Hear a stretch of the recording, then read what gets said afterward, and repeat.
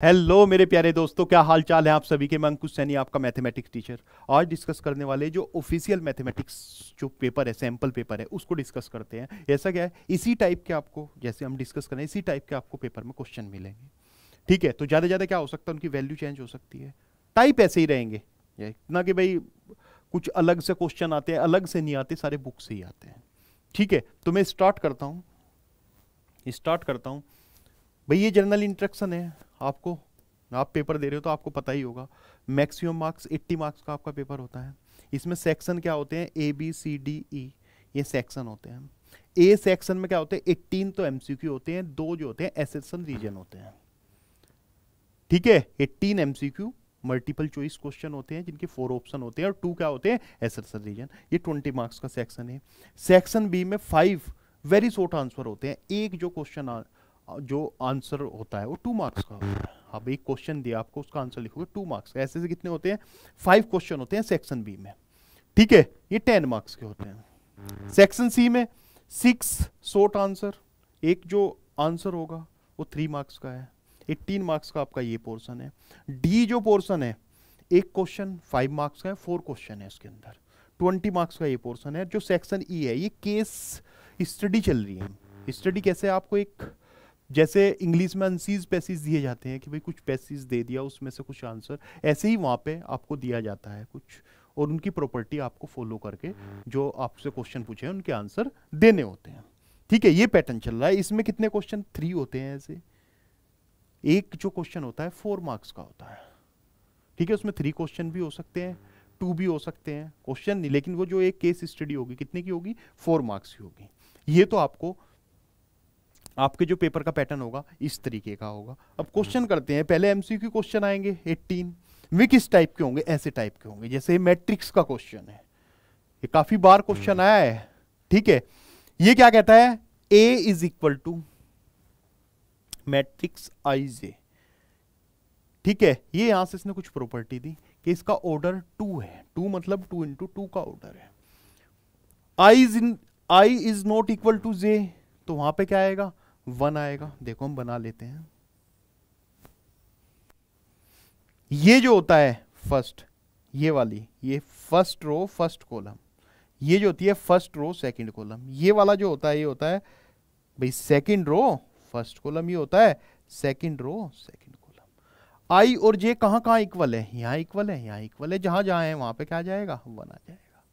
भाई वहाँ पे क्या आ जाएगा? वन आ जाएगा। इसको हटा दो। और जहाँ पे इक्वल नहीं है सॉरी, जहाँ पे इक्वल है, वहाँ ज़ीरो ये देखा नहीं। जहाँ पे इक्वल है, वहाँ पे क्या है? ज़ीरो और जहाँ इक्वल नहीं है, वहाँ पे वन यहाँ इक्वल नहीं है भाई, यहाँ भी आई वन है और जे टू है। इस वाले में भी आई वन और जे टू है। तो आपका ये बनेगा। ये ज़ीरो ज़ीरो वन और वन आपको निकालनी क्या है? ए स्क्वायर की वैल्यू किसकी निकालनी है? ए स्क्वायर की वैल्यू मैट्रिक्स का स्क्वायर ये ए की वैल्यू आई। ए स्क्वायर में क्या होता है? भाई, ये डायगोनल इधर से हटके इधर आ जाता है। ए स्क्वायर में ऐसे ही तो बताया था कि अगर इस टाइप की मैट्रिक्स हो, इसमें क्या होता है कि डायगोनल इधर से हटके इधर आ जाता है। वन वन देखो कौन सा ऑप्शन है। कहाँ है ये? दिखाई दे रहा है इसका आंसर भाई क्लियर ज़्यादा टाइम नहीं लगाना। एक मार्क्स का क्वेश्चन है, इतना ही लगाना है। ये ट्रिक है इसकी कि भाई शॉर्ट ट्रिक से कैसे करते हैं? ए निकाला आपने, जो इसने प्रॉपर्टी दी है, उससे ए निकाल दिया। भाई प्रॉपर्टी में ऐसा हो सकता है कि भाई I is equal to J पे वन रख दे। क्वेश्चन चेंज करना चाहिए। अदरवाइज़ मैक्सिमम टाइम यही क्वेश्चन उठा के रखा है सीबीएसई e ने। ठीक है? क्लियर आगे बढ़ते हैं।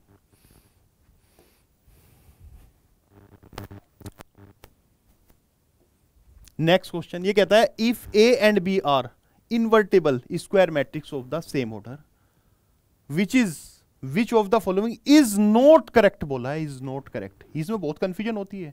इज़ करेक्ट देख लेते हैं, बच्चे टिक करके आगे बढ़ जाते हैं इतना टाइम मिलता नहीं है टाइम तो थ्री आवर्स ही है. ज़्यादा तो टाइम है नहीं उसमें ही पेपर पूरा करना है. लेकिन थोड़ा क्लियर पूरा अवेयर होकर क्वेश्चन को पढ़ना है अच्छे से प्रॉपरली रीड करना है. इसने कहा इज़ नॉट भाई, ये तो होता ही है. ए ये होता है. ए बी इसकी वैल्यू ये होती है, बताई हुई प्रॉपर्टी इसकी वैल्यू ये होती है. बट हाँ इसकी वैल्यू ये नहीं होती. इसने कहा था, इज़ नॉट करेक्ट, ये करेक्ट नहीं है। ये करेक्ट नहीं है तो इसका आंसर क्या होगा? डी। आपको ये टिकी करने हैं। देखा आंसर, टिक कर दिया। आपको कोई सोल्यूशन नहीं पूछ रहा है आपको। क्लियर नेक्स्ट क्वेश्चन कहता है if the area of triangle with vertex minus three comma zero three comma zero zero comma four is nine unit भाई, जैसे अगर इस टाइप के क्वेश्चन आए, मैंने इस टाइप के आपको उससे ही बताए हुए हैं। एक इक्वेशन बना के मैट्रिक्स की फॉर्म में, ऐसे भी बताए हुए हैं। इसका शॉर्टकट भी है। जब आपने देखा ये ऐसे कि भाई ये इस तरीके का बना हुआ है, ये एक्स एक्सिस है, ये ओरिजन है कहीं यहाँ। ये तो होता है वाई एक्सिस ओरिजन ऐसा है ये। ये क्या है कि माइनस थ्री कोमा ये आ गया यहाँ पे। और ये थ्री कोमा ज़ीरो ये आ गया। एक्स एक्सिस पे ही तो है, और ये वाला ज़ीरो कोमा के कहीं यहाँ आ गया। वाई एक्सिस पे तो ये परपेंडिकुलर हो गया। इसका एरिया भाई इसका area half base into height से half base into height half base कितना? बेस देखना जरा यहाँ से यहाँ तक कितनी लेंथ आ जाएगी भाई ये सिक्स होगी। बेस कितना? सिक्स हाइट कितनी? ये पॉइंट के ज़ीरो कोमा के है। यही तो कहा इसने। तो ये हाइट कितनी है? के ये परपेंडिकुलर की लेंथ के हाफ़ बेस इंटू हाइट से ये कि, कि इसके इक्वल है? Nine K. ये किसके इक्वल है? Nine K. ये इधर चला गया, इससे इसको काट दिया। तो के इज़ इक्वल टू कितना आ गया? Three k is equal to कितना आ गया? थ्री एक और भी तो है। भाई यहाँ पे आपको ऑप्शन ये कहोगे कि भाई नहीं मिला। हम जो एरिया रखते हैं, इसमें मोड लगा देते हैं, क्योंकि एरिया कभी भी निगेटिव नहीं होता। और मोड से जब कोई वैल्यू निकलती है ना, वो क्या कर देती है इसको? प्लस माइनस तो के की वैल्यू क्या हो सकती है? प्लस भी हो सकती है माइनस ऐसे ही तो निकालते हैं एरिया पे क्या लगाते हैं? मोड लगा देते हैं। आप इसको डिटर्मिनेंट्स की ऐसे फॉर्म में भी कर सकते हो। ये सबसे बेस्ट मेथड है इसका करने का। भाई, सबसे बेस्ट मेथड ये है। ये जब भी इसने दिए है ना ये वर्ड ये ये इसी टाइप के देता है बस बच्चे एकदम माइंड में क्या आता है भाई ट्वेल्थ वाले बच्चों के, कि भाई जो हमने इक्वेशन वाली फॉर्म से बताए हैं, इस वाली फॉर्म से, ये एकदम याद आता है। डिटर्मिनेंट वाला। कि area is equal to one by two minus three comma zero, three comma zero comma one one one. अब इसको में सोल्व कर लेते हैं, जैसे सोल्व करते हैं, इसके रेस्पेक्ट में कर लो या इसके रेस्पेक्ट में कर लो। ठीक है? लेकिन बेस्ट मेथड यही है। अच्छा मेथड यही है। सॉरी यही अच्छा मेथड है। ये जल्दी हो जाता है क्वेश्चन इसे हम ऐसे लिखते हैं। हाफ़ बेस इंटू हाइट से मोड़ लगा इस इक्वल टू नाइन इससे काट देते हैं, ये वैल्यू क्या आ जाती है? प्लस माइनस थ्री देखते ही पता लग जाता है कितनी आएगी। क्लियर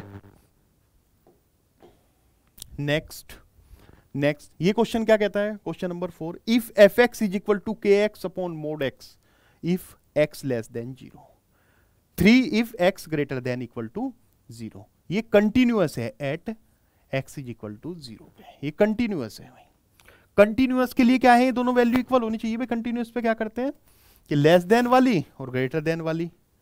लेफ़्ट हैंड और राइट हैंड माइनस वाली और प्लस वैल्यू, ये वैल्यू क्या होनी चाहिए?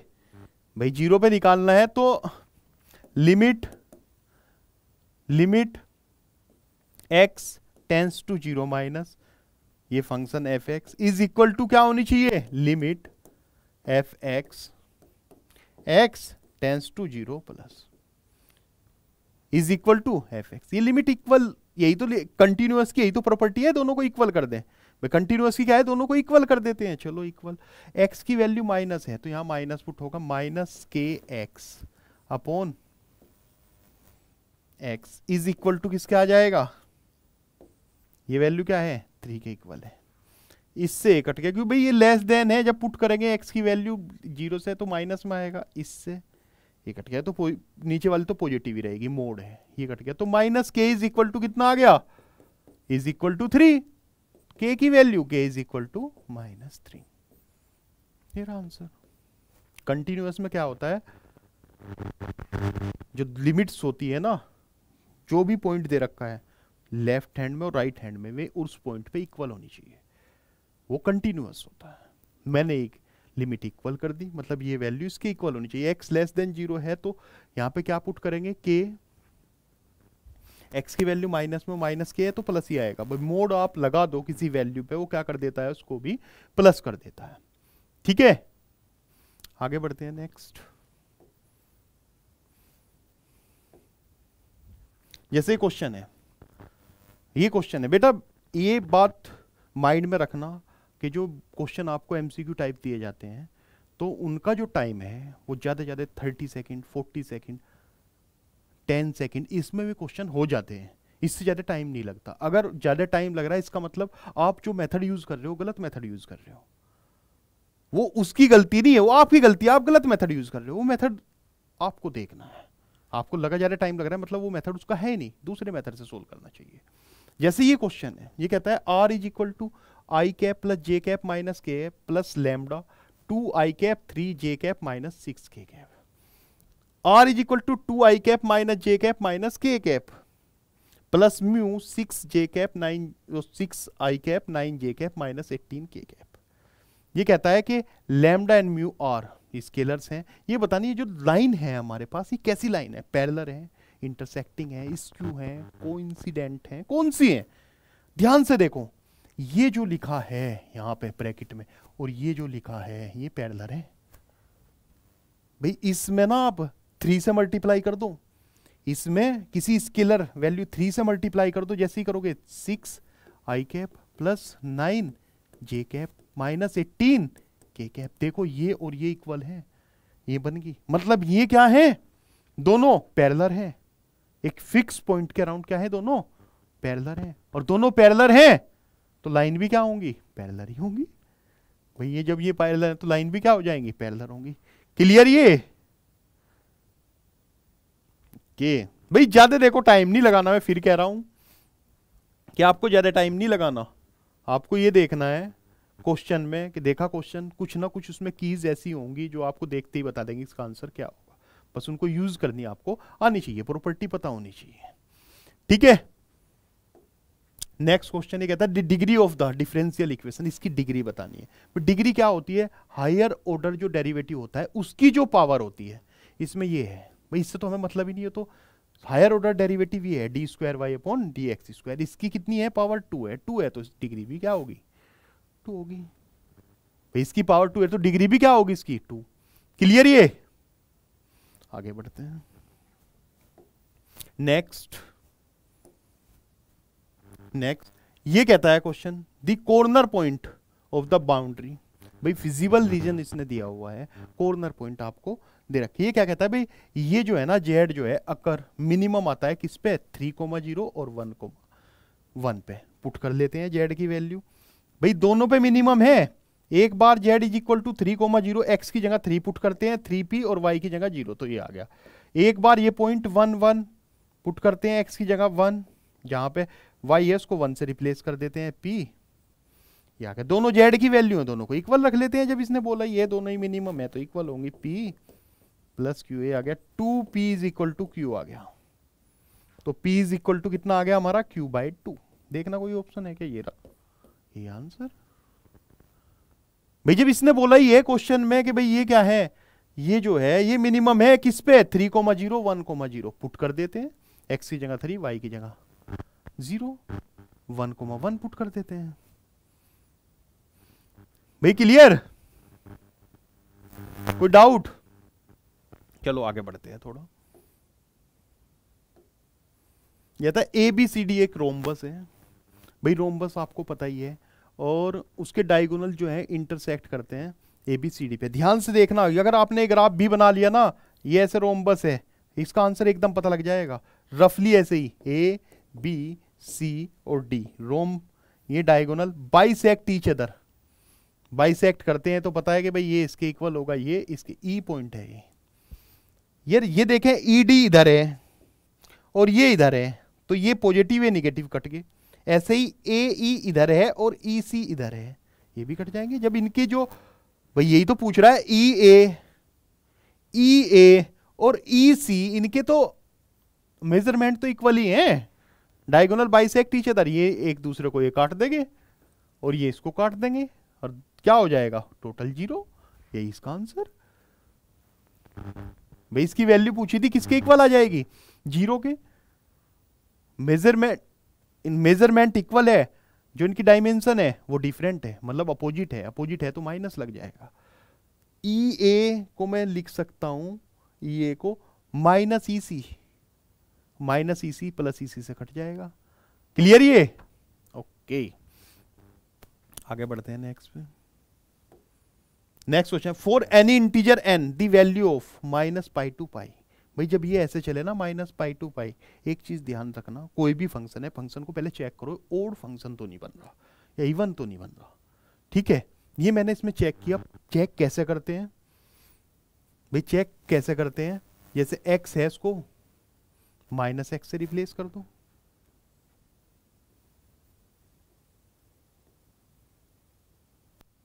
ये एक्स ही है। देखो चेक कैसे करते हैं? ये जो है, अभी आपको दिखा देता हूँ, ये जो है, ये ओड फ़ंक्शन है। ओड फ़ंक्शन का जब इंटीग्रेशन करते हैं लिमिट जो है ऐसे माइनस ए टू ए होती है तो उसका आंसर ज़ीरो होता है। आंसर तो ज़ीरो है। इसमें पुट क्या करना है? लो, मैं आपको दिखा देता हूँ। भाई एक्स की जगह माइनस एक्स पुट कर दो। सॉरी वो एन ही था। गलती हुई ये ये एन ही है, ये है एक्स ये ध्यान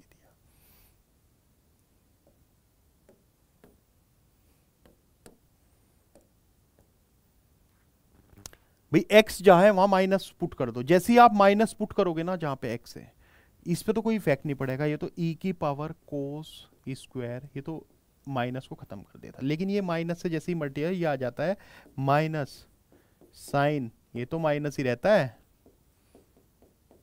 ये बन जाएगा। एक्स की जगह जैसे ही रिप्लेस करोगे ना, आप माइनस एक्स किसी में भी, कभी भी इस टाइप का क्वेश्चन आए मतलब वो आपसे बहुत जल्दी कराना चाहता है, देखते ही पता लग जाता है, ये क्या आ जाएगा?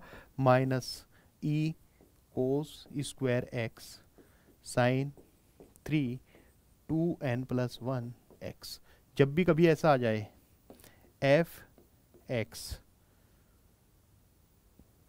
ये एफ़ एक्स है F minus X is equal to minus F X आ जाए। तो मतलब ये फ़ंक्शन क्या है? ओड फ़ंक्शन है। अगर ये f minus X is equal to F X है तो इवन फ़ंक्शन है। अगर ये माइनस है, क्या है? ओड फ़ंक्शन है। Odd function minus A two A में इंटीग्रेट होगा तो उसकी वैल्यू हमेशा ज़ीरो आएगी। उसकी वैल्यू हमेशा क्या आएगी? ज़ीरो आएगी।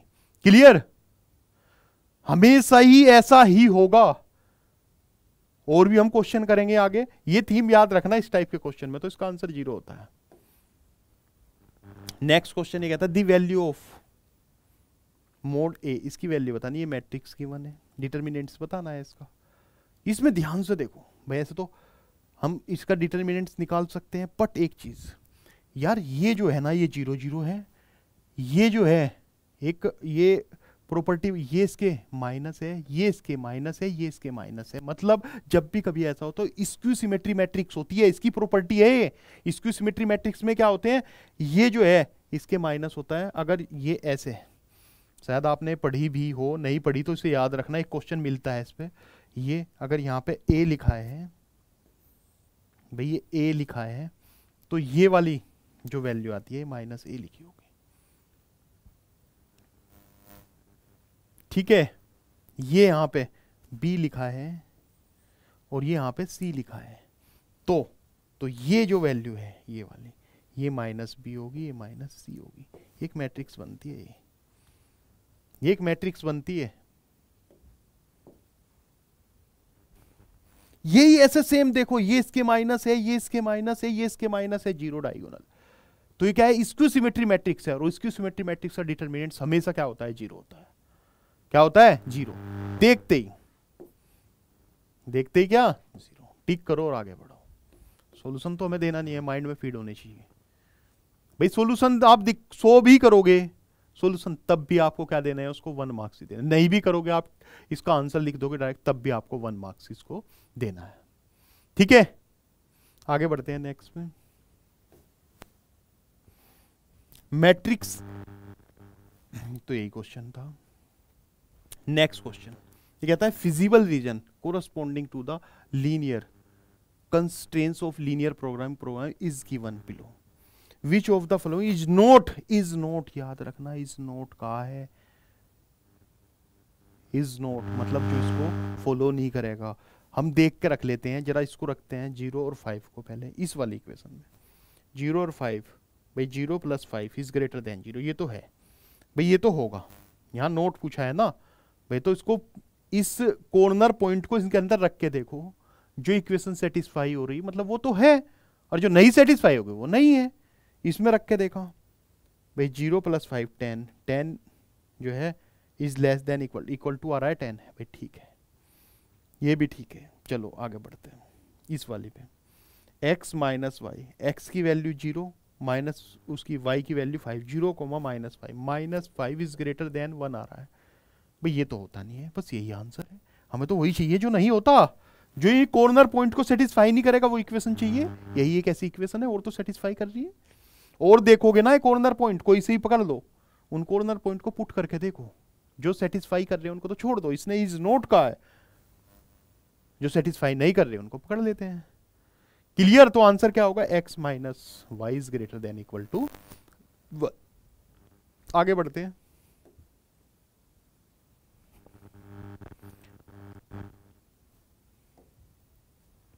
नेक्स्ट क्वेश्चन कहता है ए और B then the vector form of component पूछा है। ए अलोंग बी ये कंपोनेंट आपसे पूछा है। ठीक है, और हमें कंपोनेंट ए अलोंग बी क्या होता है? A dot B upon A के रेस्पेक्ट में पूछा है। अच्छा बी के रेस्पेक्ट में पूछा है तो बी ये होता है भाई कंपोनेंट ठीक है, यही तो होता है।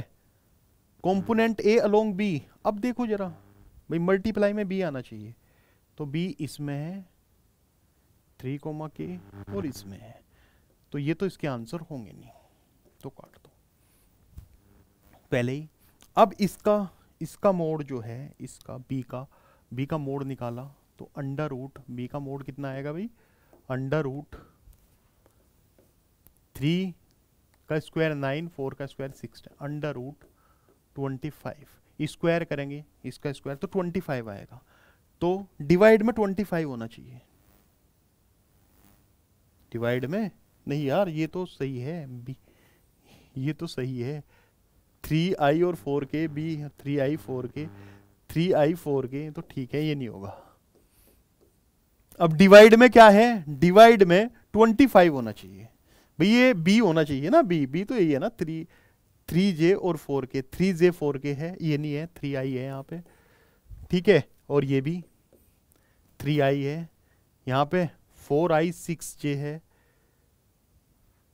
हमें चाहिए थ्री जे और फोर के भाई थ्री जे और फोर के चाहिए, एक में ही है इस वाले में, यही आंसर दोबारा से फिर एक बार देखो जरा इसको सो ट्रिक्स है ट्रिक क्या है इसकी, कि भाई इसका मेरे को पता है कि इसका जो कंपोनेंट होता है वो ये होता है।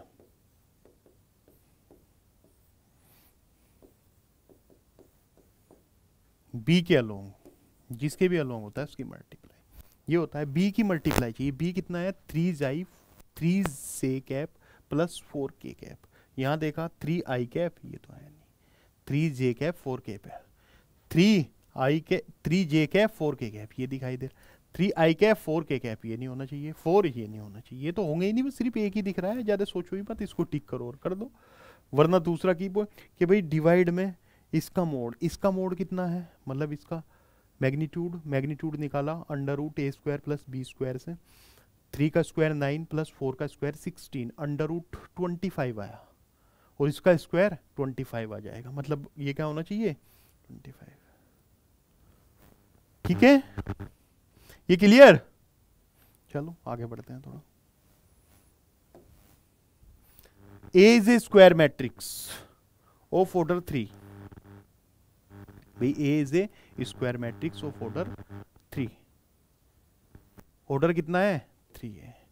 A mod of A minus two adjoint two A हमको निकालना है। एडजॉइंट टू ए हमको निकालना है। कैसे निकालेंगे भाई? ऐसे ही तो निकालते हैं। Two A.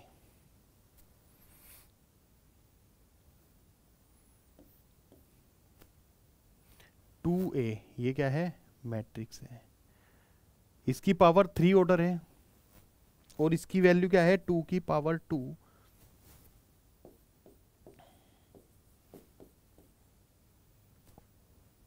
ये आ जाएगा। Adjoint of A. इतनी बैठेगी वैल्यू टू की पावर कितना आ गया? Six adjoint of A minus two two की पावर एट ये शायद आपको रूल में दिखा देता हूँ। मैं तो शॉर्टकट से किया कि क्या रूल है। सॉल्यूशन में देख लेते आंसर ये होगा। भाई आंसर ये होगा। देखो कैसे करते हैं। एडजॉइंट ऑफ़ ए ऐसे लिखते हैं ऐसे। टू ए मोड इसका स्क्वायर टू ये टू ए है, इसमें से एक कॉमन आएगा। भाई जब ऑर्डर थ्री है, एक में से टू निकाला, दूसरे में से टू दूसरे में से टू ऐसे करते हैं ना, उसमें से क्या होता है, आपने एक उसमें से निकाला टू दूसरे उसमें से निकाला टू भाई मान लिया थ्री रो हैं, सब में टू टू हैं तो टू एक से निकलेगा बाहर, एक टू दूसरी से तीसरी से टू की पावर थ्री आ जाएगा। हम ये लिखते हैं ना, जब ये टू की पावर थ्री आ जाएगा, और टू की power three into two two की पावर सिक्स आ गया। ये क्या आ गया? Mod A square mod A की वैल्यू इसने कितनी दी? डिटर्मिनेंट्स ऑफ़ ए की वैल्यू सॉरी मोड बोल रहा हूँ। माइनस टू माइनस टू का स्क्वायर कितना हो गया? टू ही है माइनस टू का स्क्वायर प्लस टू बना देगा। सिक्स पहले ही सा टू ये हो गया टू की पावर एट आएगा। ये इसका वो है प्रॉपर मेथड है। ठीक है क्लियर आगे बढ़ते हैं। मैट्रिक्स से देख लेना कितने क्वेश्चन आते हैं। बेस ने बोला a problem in mathematics is given to three student whose whose chance of solving solve करने के चांस जो है one by two one by three one by four ये इसके चांस हैं प्रॉब्लम को सोल्व करने के। Respectively if the event of their solving the problem are independent then the probability that the problem will be solve is वो आपसे probability पूछी है भाई प्रोबेबिलिटी पूछी है इसका एक फॉर्मूला बताया हुआ है हमने। क्या बताया? फॉर्मूला आपको मेथड दिखा दो? मेथड बहुत है इनको सोल्व करने के। आपको जो बेस्ट मेथड लगे, आप वो कर देना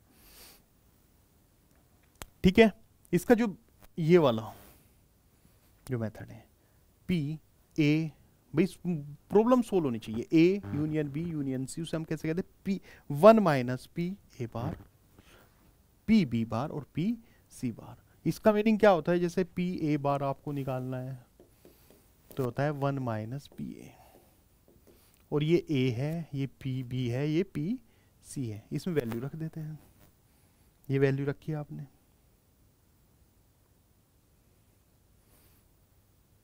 ठीक है, ये वैल्यू रख देते ये वैल्यू कितनी आएगी भाई? ध्यान से जब रखोगे। वन तो है minus one by two two by three three by four one minus one by four कितना आ गया? थ्री बाय फोर ये सबसे बेस्ट मेथड यही है इसका। और भी मेथड हमने बनाए हैं, ये भी मेथड मैंने कराया आपको। ये निकालना है फिफ्टी परसेंट ये वाला, इसको वैल्यू रख दो। सेवेंटी फाइव परसेंट आ जाएगा। सेवेंटी फाइव परसेंट कौन है? Seven seventy five upon hundred ये मेथड भी आपको बताया, लेकिन सबसे बेस्ट यही है इसको करने का। ये फॉर्मूले मैंने लिखवाए हुए हैं। ठीक है? क्लियर ये आपको कराए भी होंगे सबने। आगे बढ़ते हैं नेक्स्ट में ये कहता है the general solution of the differential equation इसका जनरल सॉल्यूशन आपको बताना है। ठीक है? ये तो इसका आंसर ये क्वेश्चन मैंने काफ़ी बार कराया हुआ है आपको। भाई ये इसका आंसर इसकी मैंने दो तीन मेथड लिए, एक तो अंडर रूट वाई स्क्वायर से बताया होगा, एक y d x is equal to x d y इससे मेथड बताया हुआ है। ठीक है? कोई नहीं, लो। भाई एक तो मेथड मैंने ये बताया था आपको, इसे क्या किया मैंने, इधर भी वाई स्क्वायर से डिवाइड कर दिया। ये बन गया formula differential x upon y ये is equal to zero integrate कर दिया इसे। भाई इंटीग्रेट कर दिया, ये सी आ गया, ये कितना आ गया? X is equal to one upon c is equal to y तो y is equal to c x दूसरा मेथड ये भी कराया था, इसको यहाँ ले जाओ आप, ये बन गया d y upon d x ठीक है? डी एक्स अपॉन एक्स जैसे ही इसको इंटीग्रेट करोगे लोग की फॉर्म में आएगा log e y log e x plus log e c इसका ये फॉर्मूला जब ये प्लस में होते हैं तो मतलब मल्टीप्लाई हुआ होगा लोग में। तो हम इसको ऐसे log e y is equal to log e x लोग ई सी तो इसकी वैल्यू क्या आ जाती है? ये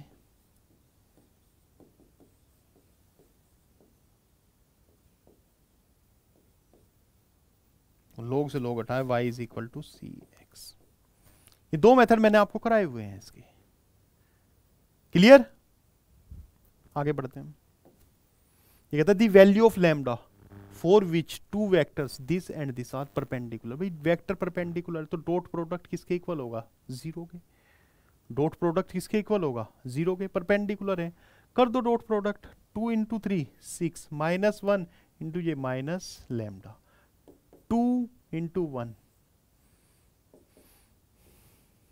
zero तो six plus two is equal to lambda तो लैमडा इज़ इक्वल टू कितने आ गया? एट के। भाई, अगर परपेंडिकुलर है तो इनका डॉट प्रोडक्ट क्या होगा दोनों का? अगर परपेंडिकुलर है तो डॉट प्रोडक्ट किसके इक्वल होगा? ज़ीरो के डॉट प्रोडक्ट कर दो डॉट प्रोडक्ट में i i cap into i cap one के इक्वल होता है। J cap into j cap one के इक्वल होता है। और तो सब ज़ीरो ही होते हैं। तो टू आई कैप और थ्री आई कैप ये आएगा सिक्स के equal minus j cap into lambda k cap ये आएगा माइनस लैमडा के equal two into one two k cap into k cap ये आएगा टू के इक्वल की वैल्यू किसके इक्वल ज़ीरो के कर दी lambda is equal to eight ठीक है? आगे बढ़ते हैं। ये कहता है this set of all points where the function this is differentiable is कौन से ऐसे पॉइंट हो गए जिस पे डिफरेंशियबल होगा? एक तो मेथड ग्राफ वाला है भाई। एक तो ग्राफ वाला है कॉर्नर पॉइंट से निकाल सकते हैं। ठीक है? एक हम क्या करते हैं इसमें कि डिफरेंशियबल है, हम उस पर बना लेते हैं। भाई ज़ीरो पे बना है ज़ीरो पे तो ये डिफरेंशियबल है नहीं। साफ़ दिख रहा है ज़ीरो पुट करते क्या होगा? ठीक है ज़ीरो पे तो डिफरेंशियबल है नहीं। जब ज़ीरो पे डिफरेंशियबल नहीं है तो ये कैसे बनेगा भाई? ये कैसे बनेगा? ये वाला पॉइंट आएगा। नहीं ज़ीरो पे डिफरेंशियबल नहीं, और तो हर पॉइंट पे है, ये वाला। Minus infinity to zero union zero to infinity ये तो देखते ही वैसे भी ये जो क्वेश्चन है, काफ़ी बार आपको बताया गया है। इसका आंसर देखते ही, कभी इसमें भी दिमाग लगाने लगो। देखते ही आंसर लगाओ और आगे बढ़ो। अभी इसमें भी दिमाग लगाने लगो कि भाई इसका आंसर क्या होगा। ठीक है, ये कोर उससे बनाना चाहो ग्राफ से। ये बन गया और ये बन गया। देख लो ज़ीरो पे यहाँ पे डिफरेंशियबल नहीं है। और ये पॉइंट क्या होंगे? क्लियर? चलो आगे बढ़ते हैं। Next if the direction cosines of a line are भाई डायरेक्शन कोसाइंस ये है। देन सी की वैल्यू आपसे पूछिए। मुझे डायरेक्शन कोसाइंस नहीं पता। L square plus m square plus n square is equal to क्या होता है? वन और सारे इक्वल हैं। तो one upon c square plus one upon c square plus one upon c square is equal to one आ गया। Three upon one आ गया। C square is equal to three आ गया। C is equal to plus minus under root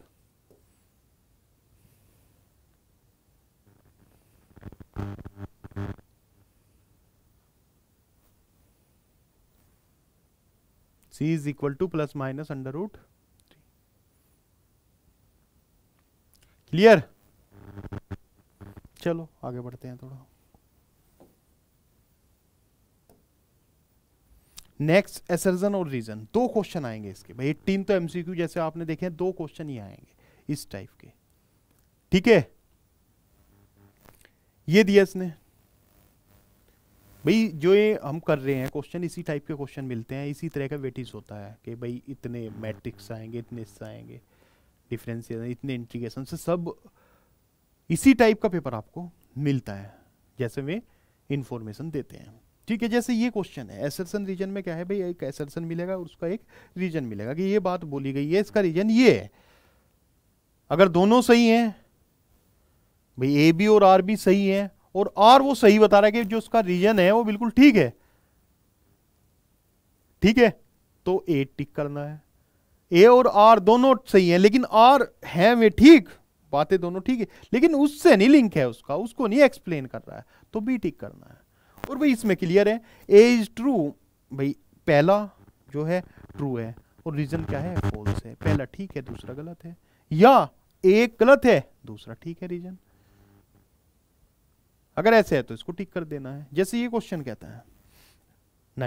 Let f x be a polynomial function of degree six ये polynomial function इसकी degree six है। हाँ भाई six है। Three arrear three arrear six भाई इसकी x की एक्स थ्री और टू जैसी मल्टीप्लाई होगी, कितनी डिग्री सिक्स बन जाएगी इसकी। बन जाएगी, नहीं बन जाएगी भाई? चलो, बात तो इसकी ठीक सी लग रही है कि भाई सिक्स है। Assertion f x has a minimum at x is equal to one हाँ at x is equal to one पे मिनिमम होगा। क्योंकि ज़ीरो वैल्यू आ जाएगी। होगा नहीं होगा? ये बात इसकी ठीक है। दूसरा वैन जब हमको उसको डिफ्रेंशिएट करते हैं तो लेस देन ज़ीरो आएगा। For all x member of a minus s comma a sorry f x greater than zero for all x member of a a plus h where h is as infinity small positive quantity then f x has a minimum at x is equal to a बात ये भी ठीक कह रहा है। इस, इसकी वजह से ही तो हम ये कह रहे हैं। भाई, इसकी वजह से ही तो हम ये कह रहे हैं कि मिनिमम कब है? तो इसका ये क्या है? एसेसन भी ठीक है और रीजन भी ठीक है। ध्यान से पढ़ो। ये पता है प्रॉपर्टी आपको भी। भाई, ध्यान से पढ़ो प्रॉपर्टी आपको पता है। एसेसन भी ठीक है, उसका रीजन भी ठीक है। क्लियर है? तो कौन सा ऑप्शन ए ऑप्शन कौन सा ऑप्शन ए क्लियर आगे बढ़ते हैं नेक्स्ट में। नेक्स्ट कहता है एसरसन क्या? The relation this defined by इस रिलेशन को one x two y three z is a bijective भाई बाइजेक्टिव होने के लिए तो फोर पी भी होना चाहिए था। इसमें है नहीं तो बाइजेक्टिव तो है नहीं। एसरसन तो गलत हो गया। भाई, एसरसन तो गलत हो गया। ये क्या कहता है?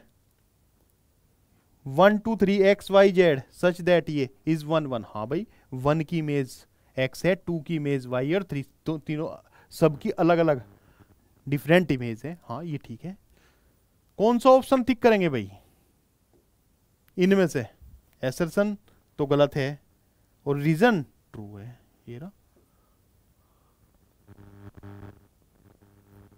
क्लियर कौन सा ऑप्शन डी डी ऑप्शन कौन सा ऑप्शन टिक करेंगे? डी करेंगे। क्लियर ना? ये सब चीज़ें आपको पता होंगी, इसमें देखना है ध्यान से बस उसको टिक कर देना है। आगे बढ़ते हैं।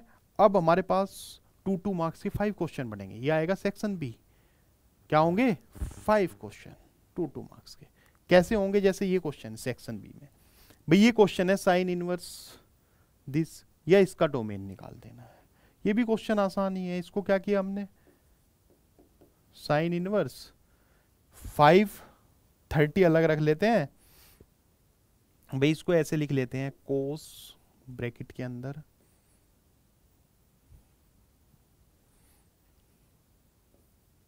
सिक्स पाई प्लस थ्री, ये लिखा जा सकता है इसको।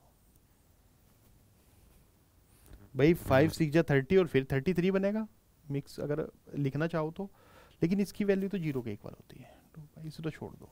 तो ये आ गया sine inverse cos three pi by five sine की फॉर्म में ही लिख लेते हैं इसे।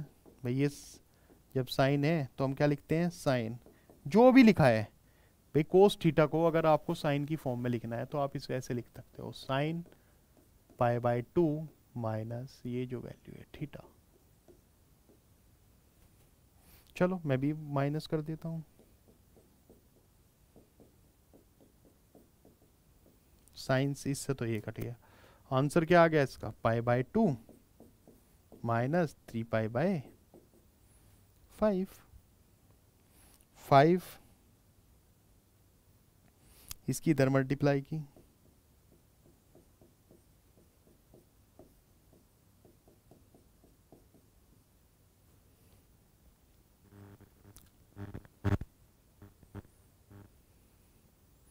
ठीक है, माइनस पाई बाय कितना minus five by sorry six नहीं आएगा थ्री टू टेन है ये टेन आएगा। ये इसका आंसर होगा। मैं आपको दिखा देता हूँ उसकी मार्किंग स्कीम भी क्या क्या है ये रही भाई। आपने देखा भी होगा। इसको, ये वन मार्क्स का स्टेप लिखने का। वन मार्क्स का ये स्टेप है। ठीक है? सेकंड क्वेश्चन जैसे ये है। सेकंड ये वाला था। ये जो value x square minus four minus greater than equal to minus one less than equal to one plus four add कर दिया हर जगह यहाँ पे भी और यहाँ पे भी। प्लस फोर ऐड किया तो ये आ गया थ्री ये आ गया फाइव ये बन गई। एक्स को हटाने के लिए ये जो है एक्स स्क्वायर मेरे को एक्स चाहिए, मोड लगाया अंडर रूट लगा दिया, क्योंकि एक्स स्क्वायर पॉजिटिव होगा, ये मोड लगा दिया, ये वैल्यू और जब मोड लगाओ तो ये दो वैल्यू आई माइनस पे माइनस थ्री इधर से और माइनस फाइव रिलेशन बनाना है, फिर एक आएगी थ्री और ये अंडर रूट फाइव कैसे बनेगा रिलेशन कि भाई ये इक्वल टू भी है तो माइनस फाइव स्मॉल वैल्यू से. कितना? माइनस थ्री तक. इक्वल टू है तो ये वाला. Union comma under root five ये बनेगा. भाई डोमेन अगर लिखना है, फिर डोमेन ऐसे लिखा जाएगा. ये वैल्यू बनी माइनस में है तो माइनस फाइव से कहाँ तक? माइनस अंडर रूट फाइव से अंडर रूट थ्री तक माइनस और यूनियन अंडर रूट थ्री से कहाँ तक? अंडर रूट फाइव तक। दो क्वेश्चन बढ़ते हैं चॉइस आती है इसमें। या आप ये करो, या आप ये करो। जो भी आपको ठीक लगे, आप कर लेना। नेक्स्ट क्वेश्चन है find the intervals in which the function are to R real number to real defined by f x is equal to x e x e की पावर एक्स इज़ इंक्रीजिंग क्या है? Increasing भाई, हमें increasing दिखाना है। हमें क्या दिखाना है? इंक्रीजिंग दिखाना है। कैसे दिखाते हैं इंक्रीज डिक्रीजिंग फ़ंक्शन पहले हम उनको डिफ्रेंशिएट करते हैं। जो वैल्यू आती है उसको इक्वल टू ज़ीरो वहाँ से एक्स की वैल्यू है, फिर दोबारा डिफ्रेंशिएट करते हैं। अगर वो लेस देन ज़ीरो है तो इंक्रीजिंग है। ग्रेटर देन ज़ीरो है तो डिक्रीजिंग है। यही तो स्टेप है। ये स्टेप फॉलो कर लेते हैं। भाई, हमने इसको डिफ्रेंशिएट किया। पहला स्टेप डिफ्रेंशिएट किया। डिफ्रेंशिएट किया तो ये आ गया।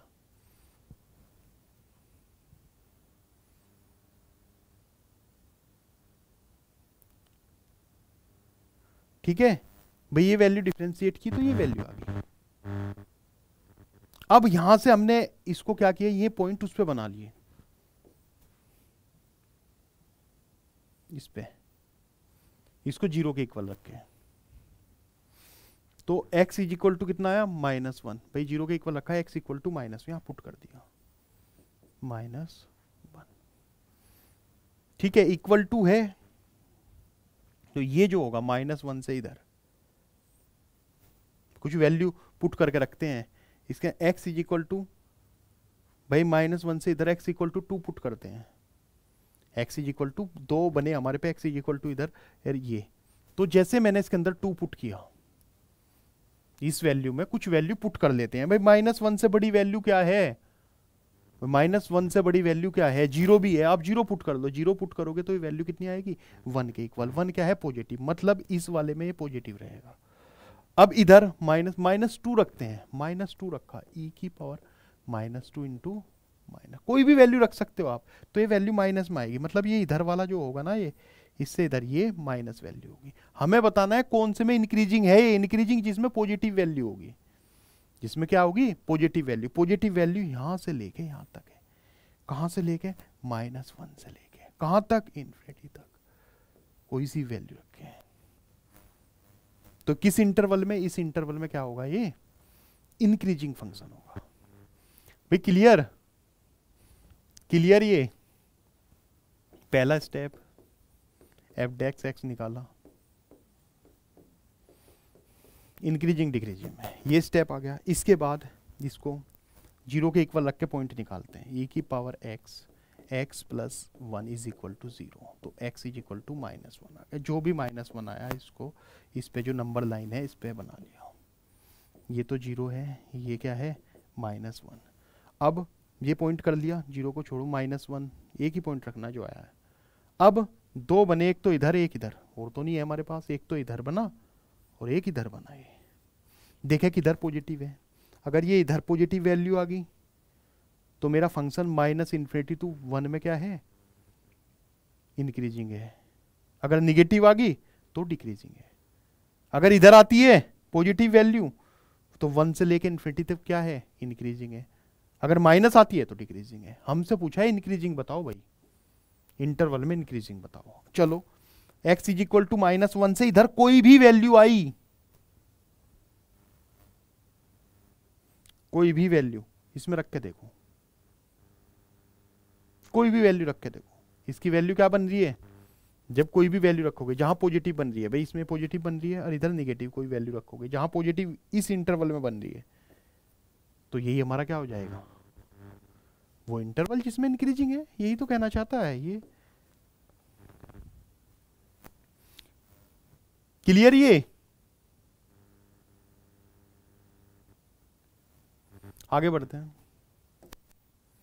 था f x is equal to one upon four x square plus two x plus one x member of R x member of R then find the maximum value भाई maximum value बतानी है F x की।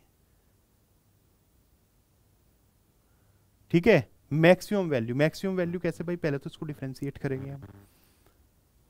ठीक है? वो value zero के equal रखेंगे।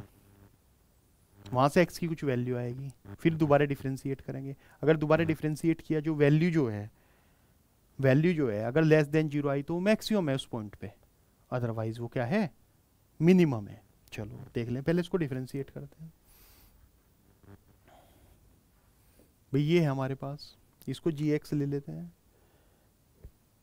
G x is equal to ये तो एफ़ एक्स था ही जी एक्स इसे नीचे वाले को। ठीक है फोर इसमें से कॉमन लिया, ये बन गया। फोर क्या लिया? कॉमन लिया, ये बन गया। दो मेथड एक तो स्क्वायर वाला मेथड है। पहले स्क्वायर वाला मेथड डिस्कस कर रहा हूँ, जो आपको बताया था कि स्क्वायर बना लेते हैं। ये ये जो वैल्यू है ये ये होल स्क्वायर बना। ये वैल्यू जो है, हमेशा इस ग्रेटर देन हो, क्या होगी? थ्री बाय फोर होगी। ग्रेटर देन क्या होगी? थ्री बाय फोर होगी। हमेशा क्योंकि ये स्क्वायर अगर निगेटिव भी कुछ रहा ना तो पॉजिटिव कर देगा स्क्वायर तो यहाँ से मेरे को एक चीज़ मिल गई मैक्सिमम वैल्यू एफ़ एक्स क्या होगी? फोर बाय थ्री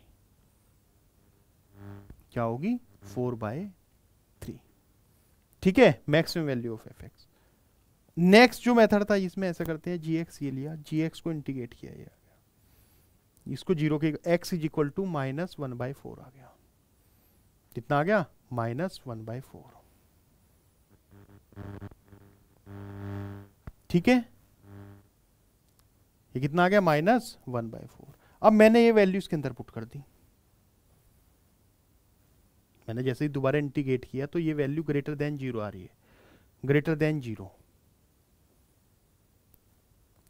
मतलब ये मिनिमम वैल्यू है। इस पॉइंट पे क्या है? मिनिमम वैल्यू है। और हमें क्या चाहिए? मैक्सिमम चाहिए। अगर डिनोमिनेटर में यहाँ पे मिनिमम है भाई डिनोमिनेटर में मिनी मिनिमम है तो ये वैल्यू मैक्सिमम होगी। आप ही देखो, ये लिखा है ऊपर कुछ वन बाय टू और वन बाय थ्री ये मिनिमम है तो ये वैल्यू ग्रेटर है। भाई वैल्यू ग्रेटर है। ये हमने देखा कि इसकी वैल्यू क्या है? थ्री बाय फोर पे क्या है? मिनिमम है। थ्री बाय फोर पे मिनिमम है और ये डिनोमिनेटर में था तो इस पे मिनिमम है थ्री बाय फोर ये मिनिमम वैल्यू है तो ये क्या बन जाएगी? इस फ़ंक्शन की वैल्यू पूछिए फोर बाय थ्री यही है यहाँ पे रख दिया। मिनिमम वैल्यू क्या है इसकी? एक्स की। फ़ंक्शन की जो हमने नीचे वाला है, उसकी वैल्यू कितनी है? फोर बाय थ्री क्लियर भाई? दूसरा मेथड ये है कि इसको इसको पहले जी एक्स को डिफ्रेंशिएट करो, उसको ज़ीरो के इक्वल रखो। एक पॉइंट आ जाएगा। फिर उसे दोबारा डिफ्रेंशिएट करो जी एक्स को। सेकंड डेरिवेटिव निकालो। अगर second derivative greater than zero है तो मैक्सिमम लेस देन ज़ीरो है तो मिनिमम हमें, हमने देखा, ये ग्रेटर देन ज़ीरो है। मतलब क्या है ये? ये इस पॉइंट पे इसकी मैक्सिमम वैल्यू है। किस पे? माइनस वन बाई फोर पे। और ये डिनोमिनेटर में है। इसकी मैक्सिमम है। सॉरी ये मिनिमम वैल्यू मिनिमम वैल्यू है इस पॉइंट पे। अब ये डिनोमिनेटर में डिनोमिनेटर में मिनिमम वैल्यू है। तो उस फ़ंक्शन की क्या होगी वो? मैक्सिमम वैल्यू होगी। भाई ये दो वैल्यू लिखी है मेरे पास, one by two, one by three. अगर डिनोमिनेटर में टू है, एक जगह थ्री है, ऊपर की वैल्यू सेम है तो ये वाली वैल्यू ग्रेटर होगी इससे। हमें तो मैक्सिमम चाहिए थी ना, इसीलिए ये पॉइंट पे इसकी क्या होगी? इस फ़ंक्शन की मैक्सिमम वैल्यू। अदरवाइज़ जी की जो डिनोमिनेटर में इसकी मिनिमम वैल्यू होगी। किस पे? X is equal to minus four पे। और इस फ़ंक्शन की मैक्सिमम वैल्यू इस पर होगी, क्योंकि ये डिनोमिनेटर में है। ठीक है क्लियर ओके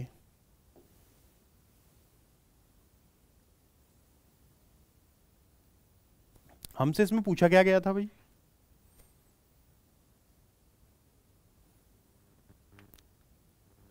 हमसे क्या पूछा गया था इस क्वेश्चन में? इसकी वैल्यू पूछी गई थी। किसकी? एफ़ एक्स की तो आ गई four by three f x की वैल्यू कितनी आ गई? फोर बाई थ्री इसके अंदर पुट कर देंगे. पी एक्स की वैल्यू मैक्सिमम होगी. At x is equal to twenty one पे. किस पे होगी भाई ट्वेंटी वन पे. कैसे? वही सेम काम करेंगे हम. पहले इसको डिफ्रेंशिएट किया, ये किया. डिफ्रेंशिएट से 42 two minus two x is equal to zero आ गया. तो x is equal to twenty one आ गया। इसको दोबारा से फिर डिफ्रेंशिएट करेंगे, इसको जैसे डिफरेंस माइनस टू आ गई। मतलब इसकी x is equal to twenty one पे, ये लेस देन ज़ीरो है। क्या है? Less than zero maximum value होगी। x is equal to twenty one पे इसकी पी की क्या होगी? मैक्सिमम वैल्यू होगी। जहाँ पे भी x है ना, वहाँ ट्वेंटी वन पुट कर दिया। भाई, जहाँ पे भी x है, वहाँ क्या कर दिया? ट्वेंटी वन पुट कर दिया। क्लियर ना ये? क्वेश्चन को देखना है, क्वेश्चन पूछ क्या रहा है? नेक्स्ट ये कहता है evaluate minus one to one log two minus x upon two plus x इसकी वैल्यू इवेल्युएट करनी है। क्या करनी है भाई? इवेल्युएट करनी है। मैंने शायद ये आपको बताया हुआ कैसे आप उसको वो करोगे। ये फ़ंक्शन था। फ़ंक्शन को देख लो ओड है वन है। पहला क्या देखना है? ओड है वन है। जब भी माइनस ए टू ए वाला केस है, क्या देखना है? ओड है या वन है? चलो जी। एफ़ एक्स मैंने क्या किया? माइनस एक्स पुट किया। जैसे ही माइनस एक्स पुट किया, ये आ गया। भाई, माइनस एक्स पुट करते ही ये आ गया। ये इसका अपोजिट हो गया, इसकी पावर माइनस वन और ये इधर आ जाएगा, माइनस एफ़ एक्स बन गया। और ओड बन गया। F x is equal to भाई, अगर ये f minus x is equal to minus में आ जाता है तो ये क्या बन गया? एक। क्या बन गया? Odd function. ओड फ़ंक्शन की value minus a to a integration में क्या होती है? ज़ीरो होती है। क्लियर? भाई टू मार्क्स का क्वेश्चन है। टू मार्क्स का क्वेश्चन है। तो ज़्यादा टाइम तो लेना नहीं चाहिए। कभी दूसरा मेथड यूज़ करना शुरू कर दो। क्लियर भाई क्वेश्चन का वेटेज भी देखा करो। इतना, ज़्यादा बड़ा क्वेश्चन थोड़ा ही ना होगा जब टू मार्क्स का है। दो तीन स्टेप में खत्म होना चाहिए। कुछ बच्चे पता नहीं कहाँ से इतने स्टेप ले आते हैं। जैसे क्या check whether function real number तो define f x is equal to critical point बताने हैं इसके। या not if yes then find the point पहले देखो भाई इसके पॉइंट आते हैं नहीं आते क्रिटिकल पॉइंट पे। ये सबसे पहले हमने इसको डिफ्रेंशिएट किया। ये आ गई वैल्यू डिफ्रेंशिएट से three x square plus one मेरे को ये तो पता लग गया कि एफ़ डैश एक्स जो है ना एफ़ डैश एक्स ये ग्रेटर देन ज़ीरो है। कैसे समझ में आया? भाई ये स्क्वायर है। एक्स की वैल्यू कुछ भी रखेंगे तो पॉजिटिव कर देगा। माइनस भी रखोगे। पॉजिटिव पॉजिटिव तो पॉजिटिव है ही। ठीक है? भाई रियल नंबर है तो ये वैल्यू क्या होगी? Greater than equal to zero होगी। तो यहाँ से एक बात क्लियर होगी कि भाई इसके कोई क्रिटिकल पॉइंट है ही नहीं। X square greater than zero है तो क्रिटिकल एक्स की कोई वैल्यू नहीं आएगी। क्या आएगी? कुछ भी नहीं आएगी। और जब नहीं एक्स पे कोई वैल्यू आएगी तो उसके कोई क्रिटिकल पॉइंट नहीं होते। No critical point exist clear ये पहला पॉइंट लिखने का ही आपको वन एंड हाफ़ मार्क्स है। आगे बढ़े। सेक्शन सी भाई सेक्शन सी ये थ्री मार्क्स का एक क्वेश्चन है। थ्री मार्क्स का एक क्वेश्चन है। सॉरी भाई क्या है? थ्री मार्क्स का एक क्वेश्चन है। तो क्वेश्चन का वेटेज भी ऐसे ही भाई, उसमें थ्री या फोर स्टेप होते हैं इसमें फाइव या सिक्स स्टेप होंगे। इससे ज़्यादा नहीं होंगे। जैसे question two x square plus three upon x square x square plus nine इस तरह का क्वेश्चन है। हमने इसको एक सब्सिट्यूशन मेथड बताया था। क्या मेथड बताया था? ये ये कौन सी वैल्यू जैसे ये क्वेश्चन है, इसमें x square is equal to t put कर दिया। और इसको ऐसे ब्रेक कर दिया। इस फॉर्म में। ब्रेक करने के बाद ए और बी की वैल्यू ए और बी की वैल्यू भाई कैसे? अगर नहीं निकालनी आती तो मैं बता देता हूँ. इनका एलसीएम लेंगे. ए टी प्लस नाइन नीचे तो आ जाएगा. वही सेम टी आ गया ए plus B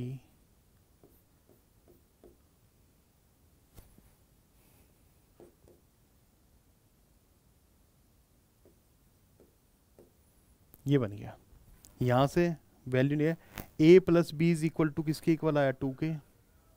A plus b is equal to two और बी इज़ इक्वल टू ये nine a is equal to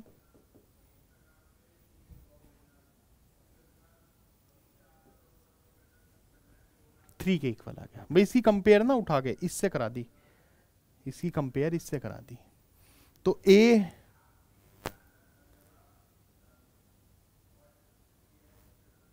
A T का जो कोफिशिएंट है a plus b a plus b यहाँ टी का कोफिशिएंट कितना है? Two a plus b is equal to two आ गया।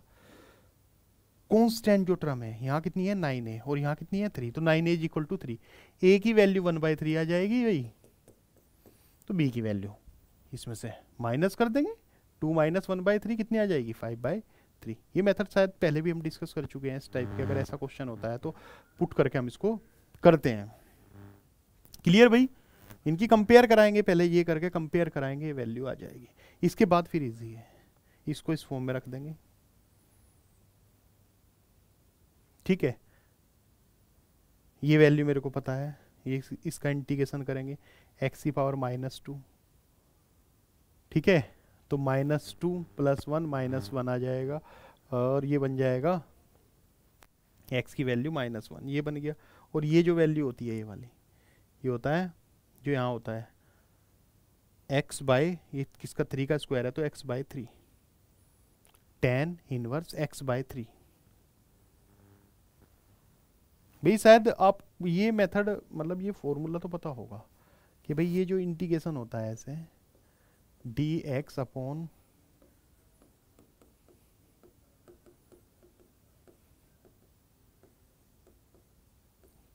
tan inverse x by वही मेथड यूज़ किया है बस। प्लस सी तो हमें लिखना ही पड़ता है आर्बिट्री कांस्टेंट तो लेके ही चलते हैं इंटीग्रेशन के कोर्स मतलब कोई भी क्वेश्चन हो। क्लियर ये? ओके नेक्स्ट ये कहता है random variable x has a probability भाई हमको रैंडम वेरिएबल दिया हुआ है, उसकी प्रोबेबिलिटी गिवन है रैंडम वेरिएबल के इजी क्वेश्चन बनते हैं। ठीक है डिटरमाइन द वैल्यू ऑफ़ के पहले तो वैल्यू ऑफ़ के भाई, मेरे को पता है सबका सम जितनी भी प्रोबेबिलिटी है, सबका सम किसके इक्वल आएगा? सबका सम किसके इक्वल आएगा वन के? ये तो है जो प्रोबेबिलिटी का, सभी प्रोबेबिलिटी का सम किसके इक्वल होता है? वन के। लो जी k plus two k plus three k is equal to one six k is equal to one three two five और one six k is equal to one by six k की value तो ये निकल गई। Find the probability x less than two x less than two पे भाई ये दोनों आएँगे।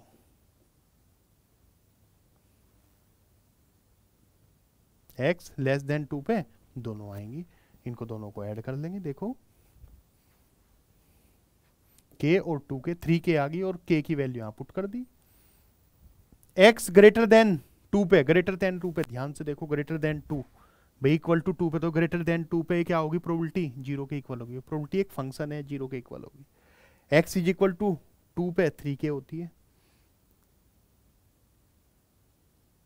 ठीक है? इसने हमसे लेस देन टू पूछी थी तो इसे छोड़ दो। इससे ऊपर वाली होंगी के और टू के। दोनों काउंट होंगी। ग्रेटर देन टू पे, सिर्फ़ ये। कितनी होगी? ज़ीरो ये इजी क्वेश्चन पड़ता है। थ्री मार्क्स का है। आगे बढ़े। भाई, कोई डाउट ये देखो, हम तो एक सीक्वेंस में, हमको तो इस क्वेश्चन पता ही है, काफ़ी बार किए हुए हैं। लेकिन आपको पेपर में क्या करना है? जो आप पे, पहले आते हैं मतलब जो आप स्टार्टिंग में जब रीडिंग टाइम मिलेगा 15 मिनट का, उसमें आइडेंटिफाई कर लेना, ये क्वेश्चन मेरे को आते हैं। सबसे पहले उन क्वेश्चन को करना। ठीक है? भाई, बिल्कुल भी कंफ्यूज मत होना। आपने अगर एक बार में क्वेश्चन कर लिए आपके में क्वेश्चन हो गए जो आप पे आते हैं वन आवर में वन एंड हाफ़ आवर में, जो आप हंड्रेड परसेंट शोर थे कि मेरे को ये क्वेश्चन तो कोई मिस्टेक कर ही नहीं सकता मैं। एक बार वे कर लेना कॉन्फिडेंस बिल्डअप होते ही। आप पे जो क्वेश्चन में थोड़ा सा डाउट है ना, वो भी क्लियर वो भी हो जाएगा। पेपर का ये सिस्टम होता है, पेपर अपने बच्चों को देता है टाइम कॉन्फिडेंस बिल्डअप करने का।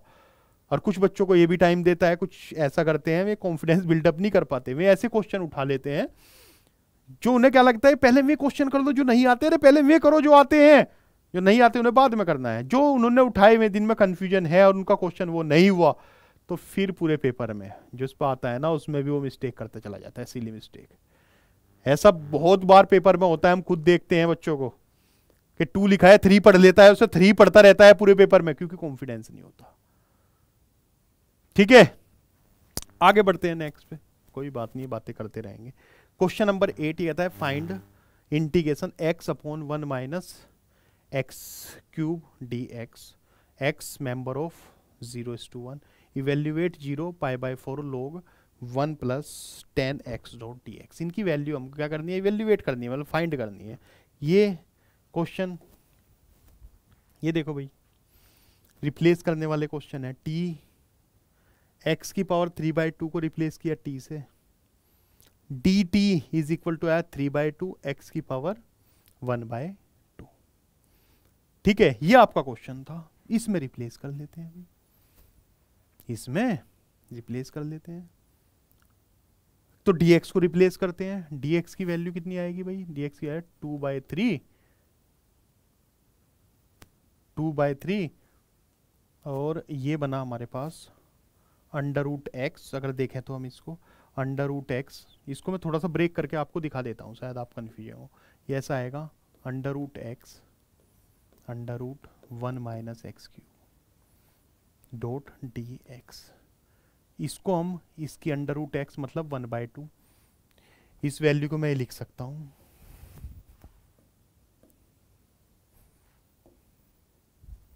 एक्स की पावर वन बाय टू। और ये एक्स की पावर वन बाय टू, इसकी वैल्यू इसकी वैल्यू यहाँ से आएगी two upon three d t इसको तो मैंने रिप्लेस कर दिया two by three d t से, जैसे इसने किया। और ये जो है यहाँ पे, x की जगह क्या पुट किया? x इसकी three by two t put किया। कितना पुट किया? टी पुट किया। जैसे ही मैं यहाँ टी x की वैल्यू आएगी यहाँ से two by three t t की पावर टू बाई थ्री यहाँ पुट करेंगे जब हम। तो ये कट जाएगा, ये कितना बन जाएगा? भाई कितना बन जाएगा? टी स्क्वायर बन जाएगा। पावर थ्री है ना? इसको one minus t two by three whole power three three से थ्री कट गया टी स्क्वायर तो ये बन जाएगा इस फॉर्म में। ध्यान से देखना, ये बन जाएगा। और इसका मेरे को पता ही होता है, ये under root one minus t square sine inverse t plus c एक बार आपने ये समझ में आ गया कि आपको रिप्लेस क्या करना है? फिर क्वेश्चन आसान है। ठीक है? ये इसका आंसर नेक्स्ट क्वेश्चन जैसे ये था, और वाला zero to pi by four लोगी one plus tan x d x एक हम इसमें क्या करते हैं? जहाँ एक्स है, इनको ये जो होती है ज़ीरो टू ए भाई zero to a a minus x से रिप्लेस कर देते हैं एक्स को। यहाँ पे भी हमने क्या किया? एक्स को जो ये एक्स था ना यहाँ, इसको pi by four minus x से रिप्लेस कर दिया। भाई, जैसे इसमें ज़ीरो टू ए में ये था एफ़ एक्स मैंने क्या किया? इसको ए माइनस एक्स जो अपर लिमिट है, उसमें से एक्स माइनस करके अपर लिमिट है pi by four pi by four में से पाई बाय फोर में से ये जो एक्स था, इसको माइनस कर दिया, ये दिया। इसका यूज़ करके। बेनिफिट क्या हुआ? बेनिफिट क्या हुआ इससे? इसका एक formula one plus tan x one minus tan x ये वन प्लस ठीक है? इनको सोल्व कर लिया इधर गया one plus tan x one minus tan x tan two upon one plus tan x ये आ गया। भाई लोग ये बन गया।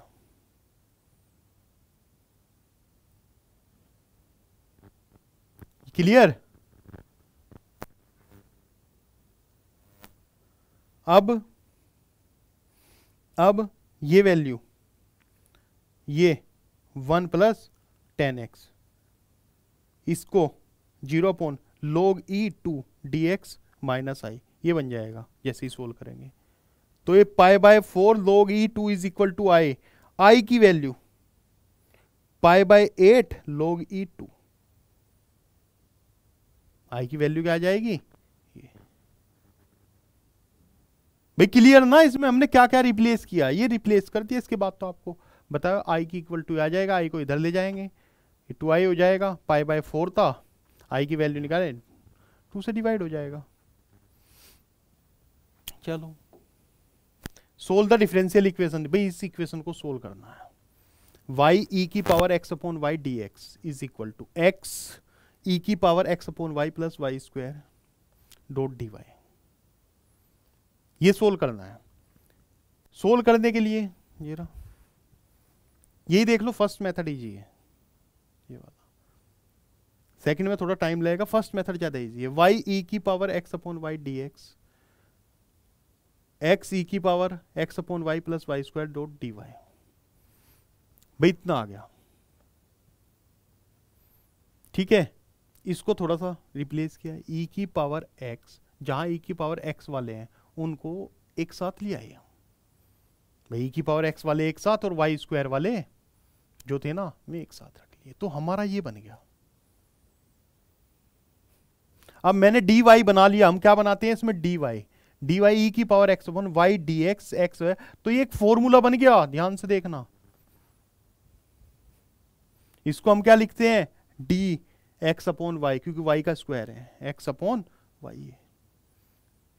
पहले का एज इट इज़ दूसरों को डिफ्रेंशिएट माइनस दूसरा एज इट इज़ पहले को डिफ्रेंशिएट अपॉन जो भी डिनोमिनेटर में था उसका स्क्वायर यही तो करते हैं। ये फॉर्मूला यू अपॉन वी वाला, भाई यू अपॉन वी वाला एक फॉर्मूला नहीं था डिफ्रेंशिएट वाला। ये वाला। एक्स को डिफ्रेंशिएट किया। Y as it is minus y को डिफ्रेंशिएट किया। X as it is upon y square इस तरह का एक फॉर्मूला था, वही तो फॉर्मूला लगाया है। ये बन गया भाई, ये फॉर्म आ गई।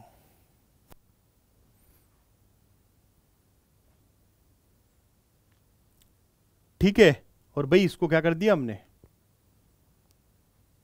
इसको e की power x upon y d x upon y इसकी value d y is equal to e की पावर x अपॉन वाई तो e की power x upon y is equal to यहाँ से y प्लस सी भाई y plus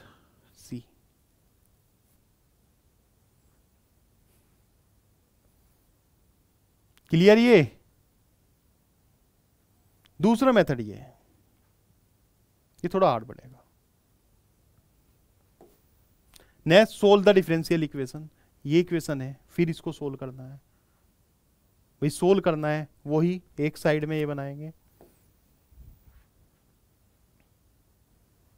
Cos square d y upon d x plus y is equal to tan x ठीक है?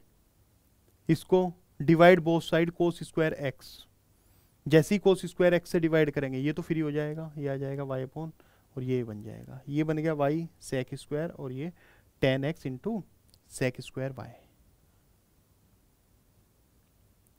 comparing d y upon d x plus P y is equal to Q इससे जैसे ही compare करेंगे P की value कितनी आ गई? सेक स्क्वायर एक्स क्यू की value tan x into sec square x integration function क्या कहता है? E integration P dot d x is equal to e P की वैल्यू पुट कर देंगे। सेक स्क्वायर डी एक्स इसका इंटीग्रेशन किसके equal होता है? टेन एक्स के। इसके इक्वल होता है भाई? टेन एक्स के। इंटीग्रेशन फ़ंक्शन ये आ गया। On multiplying the equation first by e की पावर टेन एक्स जैसे ही किया, या d y upon y dot e की पावर टेन एक्स ई की power tan x tan x और sec square x d y dot ये D x इधर ले गए ये बन गया। इंटीग्रेट कर दिया। वाई ई की पावर एक्स वो ई की power tan x is equal to integrate t e की power t d t plus c one जैसे इसको रिप्लेस करेंगे। टी इज़ इक्वल टू कितना है यहाँ? टेन एक्स और डी टी कितना है? टेन एक्स को जैसे ही हम वो करेंगे डिफ्रेंशिएट ये कितना आ जाएगा? सेक स्क्वायर एक्स ठीक है? ये वैल्यू इसमें पुट की मैंने। यहाँ से आई, ये वैल्यू बनी। इसको इंटीग्रेट किया, पहले टी फिर माइनस ऐसे टेन एक्स ई की power tan x minus e की power tan x plus c इसके बाद जो है, ये वाली। ये सी वन और सी दोनों के दोनों क्या है? आर्बिट्री भाई जो सी वन और सी है, क्या है? आर्बिट्री कॉन्स्टेंट है। ये क्वेश्चन होगा ऐसे ही इस वाले मेथड से ही। आप ही सोचते कोई और मेथड है, इसका कोई और मेथड नहीं है। ये क्वेश्चन एक ऐसा आता है कि एक फिक्स मेथड से होता है और ये ठीक है? y की वैल्यू किसकी है? Tan x minus one plus c dot e की power minus tan x next next solve the following linear equation programming minimum वो minimize z is equal to x plus two y subject to constraint x plus two y is greater than equal to hundred two x minus y less than zero two x plus y is less than two hundred x comma y is greater than equal to zero x और y क्या है? Greater than zero है. Graphically अब graphically करना है तो लो जी line बनाई, जो जो दे रखी थी, ये ये और ये. कंस्टेंट करना था. भाई ये इससे इधर चाहिए एक्स इक्वल टू ज़ीरो से मतलब ये क्या होना चाहिए? ग्रेटर होने चाहिए। चलो जी, ये आ गई वैल्यू इससे टू एक्स प्लस वाई इससे कम होनी चाहिए। ये आ गई। तो ये आएगा हमारा रीजन कॉर्नर पॉइंट भाई इनके कॉर्नर पॉइंट जब इससे एक्स की जगह ज़ीरो पुट कर देंगे। इस इक्वेशन में x is equal to zero put करेंगे तो y is equal to two hundred आएगा। ये कॉर्नर पॉइंट बने। ये बने कॉर्नर पॉइंट ग्राफिकली रिप्रेजेंट करना बहुत आसान है. ग्राफिकली रिप्रेजेंट करना बहुत आसान है.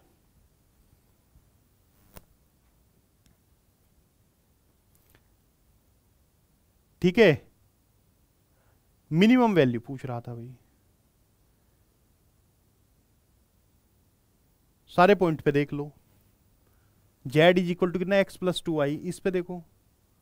जितने भी कॉर्नर पॉइंट है ना, सब पे एक्स की जगह ज़ीरो पुट किया वाई की जगह फिफ्टी पुट किया तो हंड्रेड आ गई। ट्वेंटी और एट्टी ये भी हंड्रेड आ गई। फिफ्टी और हंड्रेड ये टू फिफ्टी आ गई। देखो उसमें से सबसे मिनिमम मिनिमम यही दो वैल्यू है। भाई, जो कॉर्नर पॉइंट है, उनकी वैल्यूज़ के अंदर पुट कर देते हैं। एक्स और वाई को रिप्लेस कर देते हैं।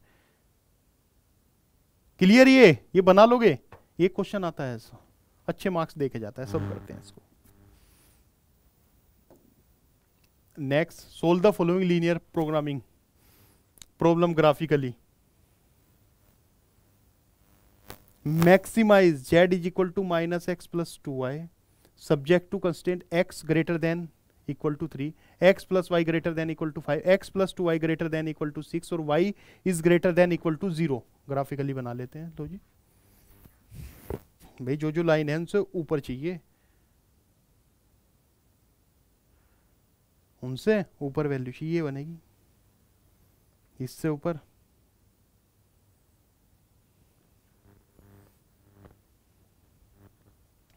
क्लियर भैया? लाइन बनानी है इनसे ऊपर, जो हाँ भी ये टच कर है उससे ग्रेटर वैल्यू चाहिए। भाई इससे ग्रेटर तो इधर ही बैठेगा, इससे ग्रेटर इधर बैठेगा, इससे ग्रेटर ये ऊपर बैठेगा। ये लाइन ड्रॉ करनी है, उसके बाद कॉर्नर पॉइंट फाइंड आउट कर लेते हैं।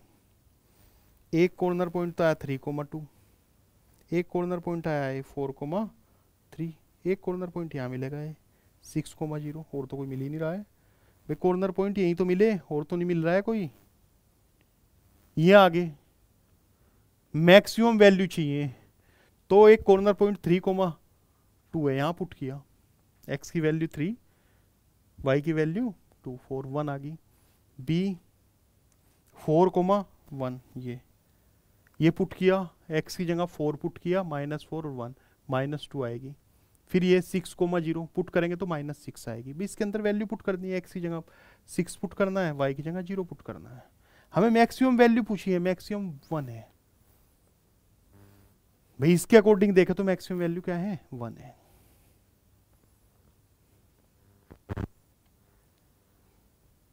ठीक है लेकिन हमारे पास ये देखा जाए भाई ये मैक्सिमम वैल्यू कहीं और कॉर्नर पॉइंट मिलते। तो उसमें क्या हम इसे बोल देंगे मैक्सिमम अब आगे जाके कि हमें ये तो पता लगा कि भाई ये जो वैल्यू है ये मैक्सिमम है यहाँ पे वन आ रही है इससे बड़ी होनी चाहिए। क्या होनी चाहिए? बड़ी होनी चाहिए जेड की वैल्यू भाई मैक्सिमम वैल्यू हमारी वन आई।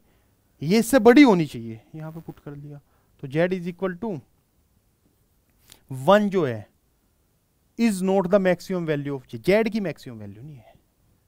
क्योंकि यार पता ही नहीं लग पा रहा है कि मैक्सिमम कहाँ तक जाएगा। क्लियर नेक्स्ट ये कहता है if a plus b x is e की power y upon x is equal to x prove that x t square y upon d x square is equal to a upon a plus b x का whole square ये हमको prove करना है। ये क्या करना है? प्रूव करना है। चलो प्रूव कर लेते हैं। भाई प्रूव कर लेते हैं। Y upon x log e x भाई लोग ले लिया। E की पावर थी ना? लोग लिया। तो ये आ गई y upon x x upon ये। इसे कैसे गए लोग x और ये वाली माइनस में। डिफ्रेंशिएट कर दिया एक्स के रेस्पेक्ट में। जैसे ही डिफ्रेंशिएट किया, इसका तो फॉर्मूला भाई इसको x as it is d y upon d x minus x को डिफ्रेंशिएट अपॉन एक्स स्क्वायर इसको डिफरेंस वन अपॉन एक्स इसको डिफ्रेंशिएट किया। ये और फिर ए और बी एक्स था तो बी आ जाएगी। ये वैल्यू बनेगी। यहाँ तक तो कोई डाउट नहीं। जब भी पावर वाले होते हैं, वहाँ लोग ले लेते हैं। ये वैल्यू एक्स स्क्वायर को इधर ले गए x dy upon d x ये बना।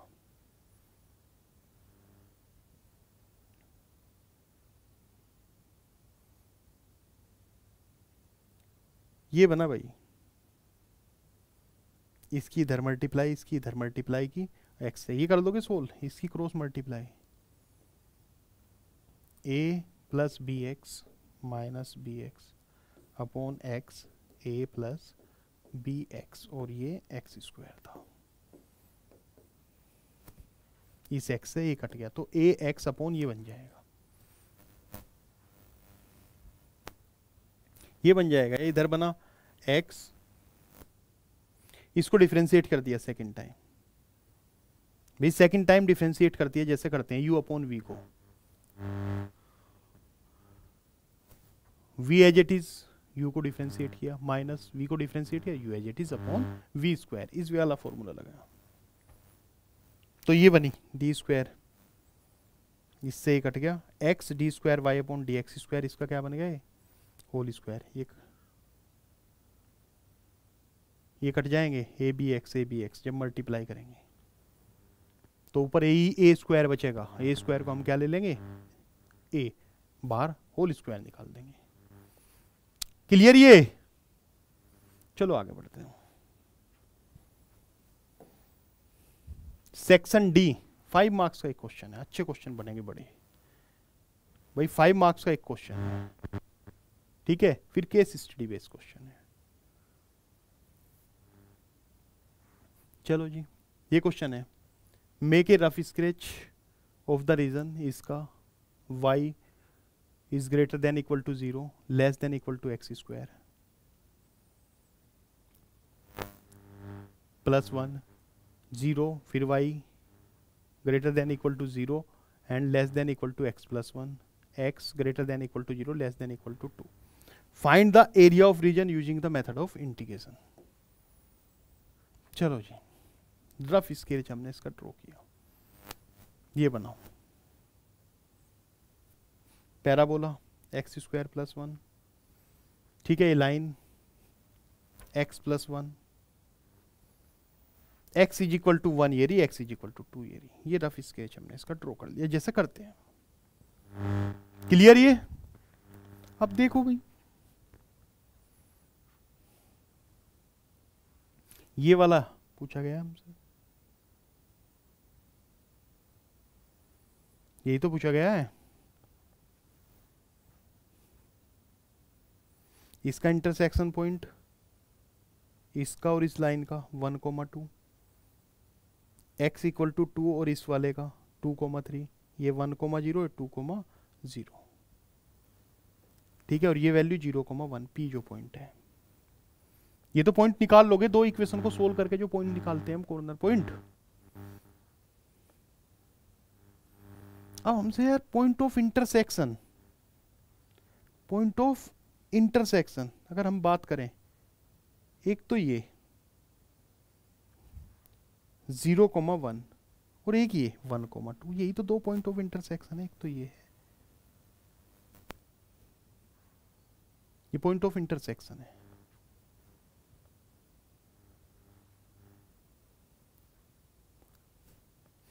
अब ये पॉइंट ऑफ़ इंटरसेक्शन भाई, एक ये रहा, और एक, कहता है एरिया ऑफ़ सेडिड रीजन इसका shaded region O P Q R T S O कौन सा?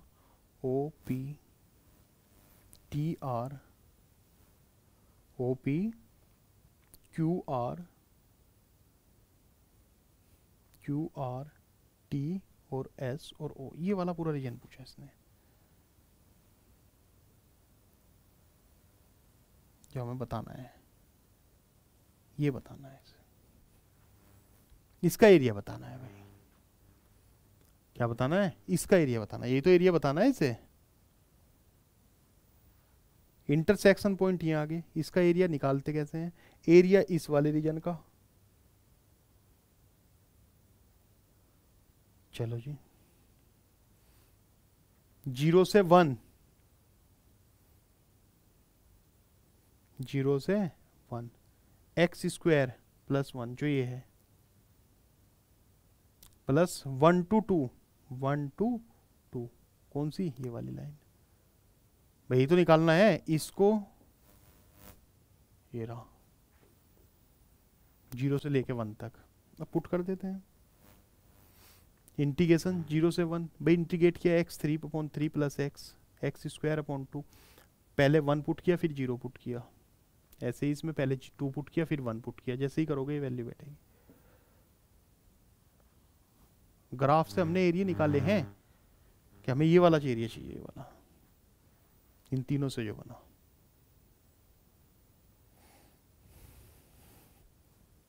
कोई डाउट इसमें?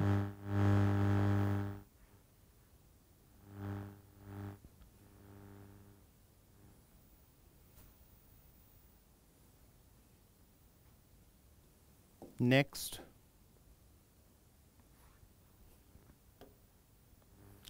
नेक्स्ट कहता है let N be the set of all natural number भाई ये ऐसे क्वेश्चन है। All natural number and R be a relation on N into N defined by a comma b R c comma d a d और b c for all a b comma c d member of N into N natural number के member हैं। So that R is a इक्विले equivalence relation on n into n. Also find the equivalence class of 2 comma 6 that is, ठीक है equivalents के लिए हमें क्या होना चाहिए भाई? S R T S R T symmetric reflect भाई बताए थे ना? S R T transitive reflective और सिमेट्रिक ये तीनों होने चाहिए।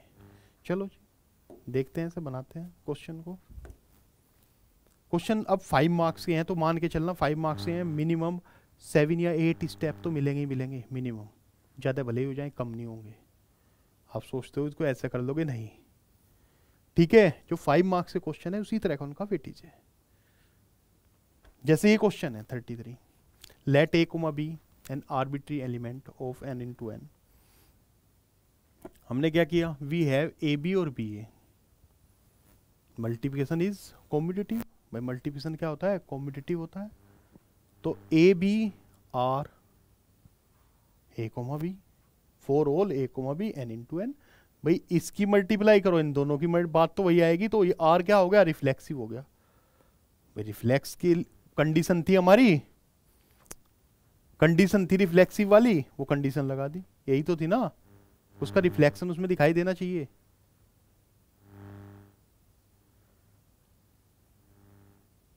क्लियर चलो जी, आगे बढ़ते हैं। भाई ए बी और सी डी आर्बिट्री एलिमेंट है of N in to N के। Natural number a comma b और सी कोमा डी रिलेशन तो है ही। इसमें आया then then a comma b R को सी कोमा डी तो ये बना।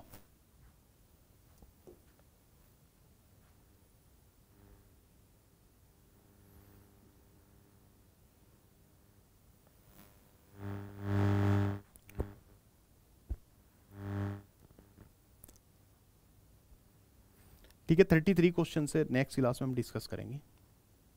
ठीक है, आज यहीं तक ही डिस्कस करते हैं। नेक्स्ट क्लास में फिर मिलते हैं, तब तक के लिए थैंक यू